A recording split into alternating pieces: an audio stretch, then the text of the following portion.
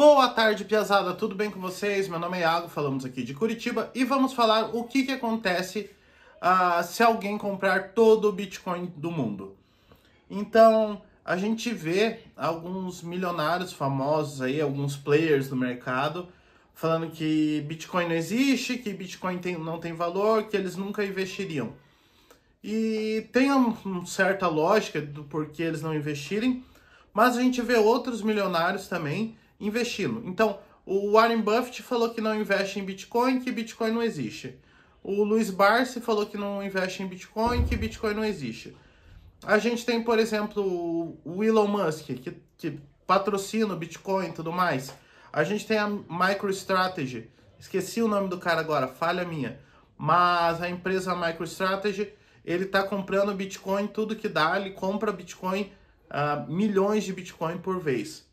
A gente tem a BlackRock, a gente tem vários ETFs de Bitcoins, vários fundos de Bitcoins aí, vários players entrando no mercado Bitcoin.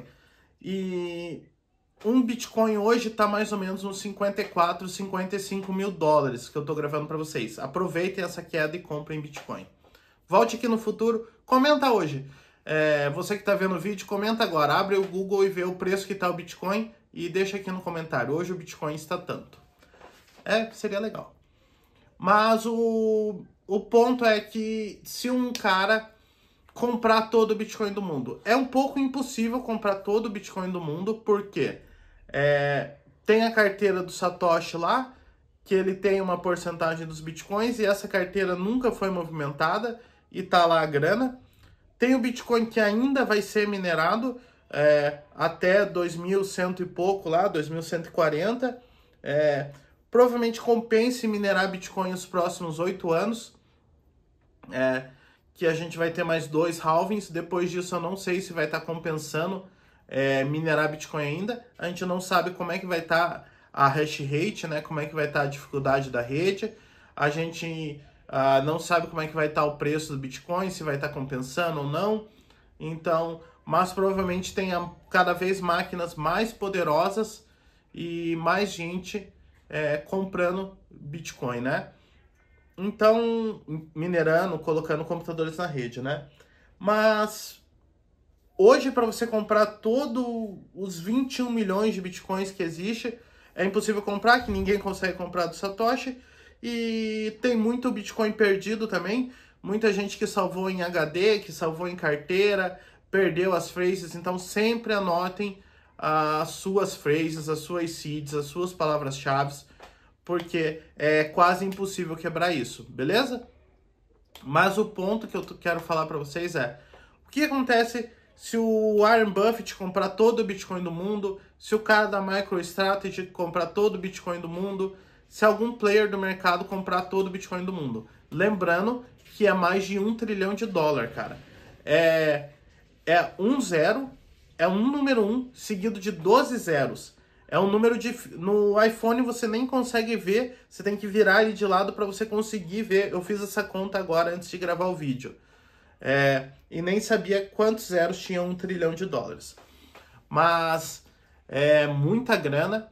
Então, mas se alguém comprar todo o Bitcoin, o que acontece? Simplesmente acaba a liquidez no mercado, porque alguém vai ter todo o ativo do mundo e provavelmente as pessoas migrem para outras criptomoedas. E esse cara vai ter todo o Bitcoin do mundo. Ele vai ter um troféuzinho assim, parabéns, você tem uh, todo o Bitcoin do mundo. Porque uh, a ideia da moeda é ser uma moeda descentralizada, é ser uma moeda que todos podem ter acesso, é ser uma moeda que não é controlada por ninguém. E quando alguém é, tem toda, toda a moeda, quando alguém tem toda a reserva de valor dela, então ela passa a não valer nada, porque o mercado não tem mais liquidez. Então, é, nunca ninguém vai comprar todo o Bitcoin do mundo, porque é necessário todas as pessoas, todo esse mercado, gente comprando, gente vendendo, gente usando Bitcoin. Eu aceito Bitcoin se você quiser mandar é, Bitcoins para mim, mas é, é preciso ter essa liquidez no mercado para essa moeda ter valor se alguém rodar todo o Bitcoin, o Bitcoin simplesmente não vai valer mais nada, porque ele tem todo o Bitcoin e ninguém mais vai querer comprar aquilo. Então é simples assim, ninguém pode comprar todo o Bitcoin do mundo, beleza? É só para vocês entenderem mais ou menos como funciona essa economia descentralizada, beleza? Então era esse o nosso recadinho de hoje, era nosso vídeo de hoje. Valeu, tchau, tchau.